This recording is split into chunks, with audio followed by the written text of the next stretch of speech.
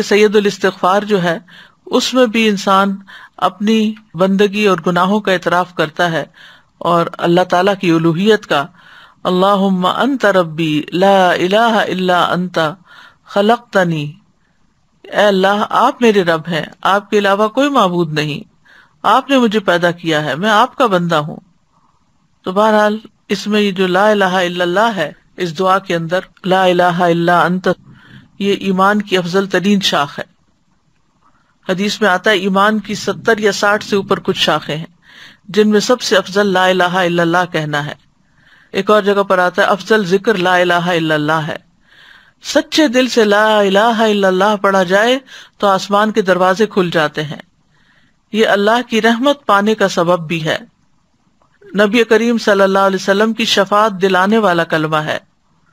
رسول اللہ صلی اللہ علیہ وسلم نے فرمایا، قیامت کے دن میری شفات کی سعادت سب سے زیادہ حاصل ہوگی۔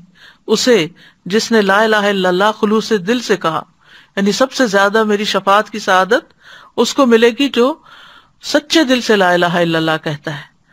پھر یہ لا الہ الا اللہ مصائب سے نجات دلانے والا کلمہ ہے۔ نبی صلی اللہ علیہ وسلم نے فرمایا، جس نے لا الہ الا اللہ کہا تو ایک دن یہ کلمہ اسے مصیبتوں سے ضرور نجات دلائے گا۔ اس سے پہلے جو ہو چکا وہ ہو چکا۔ پھر جنت میں لے جانے والا کلمہ ہے۔ من مات لا الہ الا اللہ دخل الجنہ۔ جو شخص اس حال میں فوت ہوا کہ وہ جانتا تھا کہ اللہ کے سوا کوئی الہ نہیں، وہ جنت میں داخل ہوگا۔ ایک اور حدیث کے مطابق اس کلمے کی وجہ سے انسان کو آگ سے نکال لیا جائے گا۔ اور مرنے والے کو خاص طور پر اس کی تلقین کرنی چاہیے۔ نبی صلی اللہ علیہ وسلم نے فرمایا، اپنے مرنے والوں کو لا الہ الا اللہ کی تلقین کیا کرو۔ کیونکہ جو شخص لا الہ الا اللہ پڑھتا ہے، تو پھر جنت میں جانے سے اسے کوئی چیز روک نہیں سکتی۔